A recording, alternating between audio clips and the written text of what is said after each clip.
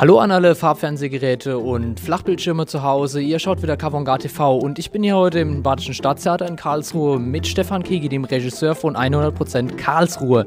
Hallo Stefan. Hi. Stell dich erstmal vor, also was, äh, was machst du bei 100% Karlsruhe oder was ist überhaupt 100% Karlsruhe? Das ist eine Stichprobe von der Stadt. Also wenn hier 300.000 äh, Bürger in der Stadt sind, haben wir sozusagen 100 Leute so ausgewählt, dass sie in fünf Kategorien genau übereinstimmen mit der Stadt. Alter, Zivilstand, Staatsbürgerschaft, äh, Wohnbezirk und äh, Geschlecht. In diesen Kategorien stimmt Karlsruhe genau überein mit den 100 Menschen auf der Bühne. Also sagen wir, fünf Menschen sind zwischen 0 und 10 Jahre alt. So sind auf unserer Bühne fünf Kinder in diesem Alter auch anwesend. 2% Italiener in der Stadt machen zwei Italiener auf unserer Bühne.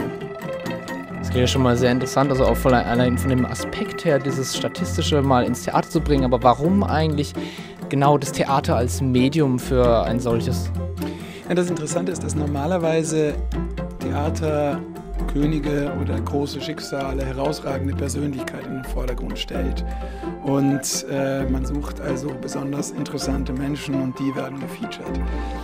Wir sagen, warum nicht die ganze Stadt? Warum nicht sozusagen versuchen, dass äh, in dem Medium, das für Repräsentation zuständig ist, einmal wirklich das als demokratischer Organismus genommen wird, wie ein Parlament im Prinzip, ähm, die ganze Stadt darin vorkommt. Und das Interessante ist bei so einer Stichprobe, dass man dann eine Frage stellen kann und wenn man eine Antwort kriegt von 100 Menschen, die der Stadt entsprechen, dann hat man eigentlich die repräsentative Antwort der Stadt. Oder mindestens darauf können wir gespannt sein, ob das auch so sein wird. Dann.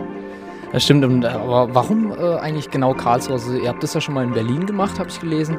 Und äh, Karlsruhe ist jetzt die zweite Stadt, aber wie seid ihr jetzt auf äh, Karlsruhe gekommen? Karlsruhe ist sogar die dritte äh, Stadt. Wir haben es mittlerweile, oder eigentlich die vierte, weil wir in Wien das auch schon mal selber nochmal inszeniert haben und in Vancouver wurde es von einem Freund von uns nach unserem Konzept sozusagen inszeniert und demnächst kommen Köln, Melbourne und London äh, und Braunschweig noch dazu. Also das ist eine ganze Serie, wo ich am Schluss echt gespannt bin, ähm, wenn man das dann, diese ganzen Videos nebeneinander sieht, sieht man sozusagen 100% Welt in einer gewissen Weise oder kann vergleichen, wo gibt es wie viele Leute, die schon mal im Gefängnis waren, wo gibt es wie viele Leute, die Ja sagen zur Todesstrafe oder die schon mal über Selbstmord nachgedacht haben. Ähm, diese Antworten werden auf der Bühne äh, generiert. Wir stellen ja nur Fragen. Es gibt sozusagen ein Skript, das besteht eigentlich nur aus diesen Fragen und die Menge verhält sich dann dazu. Die gehen auf die Seite der Ich-Sager. Ich ähm, wollte schon als Kind das tun, was ich jetzt als Erwachsener für einen Beruf ausübe oder ich bin schon in Karlsruhe geboren oder ich fahre Fahrrad oder äh, und auf der anderen Seite die ich nicht Seite. Und die äh, teilen sich ein und, und geben so nach und nach die Stadt wieder. Gut, äh, du hast es auch gesagt, ja, Vancouver, Wien und aber ich, ich finde irgendwie Karlsruhe, das ich, ich finde super als Lokalpatriot, aber wieso, wieso, wieso seid ihr jetzt genau auf Karlsruhe gestoßen? Es ist einfach darüber gekommen, dass das Bundesverfassungsgericht hier seinen 60. feiert nächste Woche und die einen wesentlichen Batzen dazu beigetragen hat, dass das stattfinden kann. Und wir fanden eben auch, weil es so sehr um Volksrepräsentation geht, interessant äh, zu sagen, man fragt gleichzeitig, äh, wie man fragt, äh, wer ist das Volk, ähm, auch wer äh, entscheidet für das Volk. In diesem Fall ist ja eigentlich das Bundesverfassungsgericht die letzte Instanz, ähm, nicht nur juristisch gesehen, sondern auch wenn es darum geht, Gesetze abzusegnen oder nicht, die im Bundestag entschieden werden, die können nochmal sagen, geht nicht. Die stehen da über allem drüber und diese Fragen so zusammenzudenken, das ist das Experiment von nächster Woche hier in Karlsruhe. Und ähm, mal noch eine kurze Frage, wenn, wenn, wenn, wenn, wenn ihr es schon in Berlin gemacht habt, was, was, was rechnet ihr euch aus? Was sind so die Unterschiede zu Berlin, Hauptstadt Deutschlands, eine Millionenstadt, äh, zu ja, so eine kleine Provinzstadt wie Karlsruhe, also relativ kleine Provinzstadt? Also Berlin hat äh, mehr Ausländer. Äh, nein, nein, Entschuldigung, jetzt habe ich mich verquatscht. Berlin hat äh, weniger Ausländer als hier in der Statistik, war überrascht davon, hat aber mehr Arbeitslose. Ähm, und wie die in den Antworten sich unterscheiden werden. Darauf bin ich jetzt sehr gespannt. Ich treffe meinen Cast auch erst am Freitag. Ich habe einen leisen Verdacht nach den Antworten, die wir so, wir haben ja fürs Buch äh, immer sechs Fragen auch an die Leute gestellt. Und da hatte ich den Eindruck, dass die Antworten so ein bisschen politisch korrekter sind, dass die Leute ein bisschen wenig, weniger polemisch draufhauen.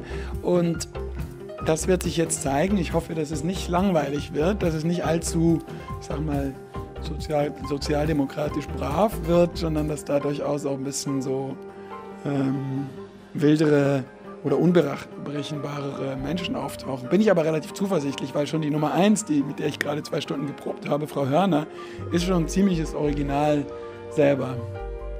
Und äh, was, was macht es dann für dich aus, diese ganz, also es sind ja dann immer 100 Menschen logischerweise, und dann diese 100 Menschen auch für dich zu treffen, also was war jetzt so bisher in den, äh, also zum Beispiel in Berlin, was war da die Type für dich, also der, der oder die Frau, wo du gesagt hast, boah, geil, dass wir die gefunden haben, dass sie bei uns mitgemacht hat? Naja, das ist jetzt schwierig, das so abzuheben. Also in Berlin gab es einen Zille, äh, hieß der, und der war wirklich so ein, so, so, ein, so ein Urgestein, der hat auch total geberlinert, kann ich gar nicht nachmachen.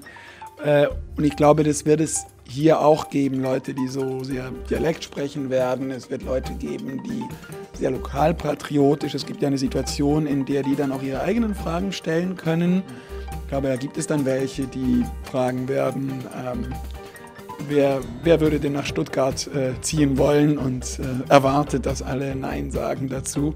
Also so ein gewisser ähm, Lokalbezug wird, glaube ich, wird, wird, schon entstehen aus, aus, aus diesen Leuten. Es gibt auch so ein bisschen was, äh, wenn ich die Fotos nur schon angucke, die geknipst wurden, viel mehr Leute im Garten als in Berlin, viel mehr Leute so in so einer gewissen familiären Häuslichkeit. Aber es gibt auch junge Künstler dabei. Es gibt ähm, schon so ein bisschen was von allen Seiten von Karlsruhe. Wir haben ein paar, glaube ich, wir haben mehr statistisch gesehen ältere Leute, so im obersten Segment. Berlin hat einfach sich einen tieferen Altersschnitt. In Wien hatten wir ähm, sehr viele Leute, die in politischen Parteien sind aber sehr wenig Leute, die auf die Frage, ob sie politisch aktiv sind, mit Ja geantwortet haben. In Berlin war das genau umgekehrt. Bin gespannt, was dazu Karlsruhe sagt. Wir freuen uns auf jeden Fall 100% Karlsruhe. 1. Oktober im Staatstheater. Wir sehen uns. Das war Carbon TV. Ciao.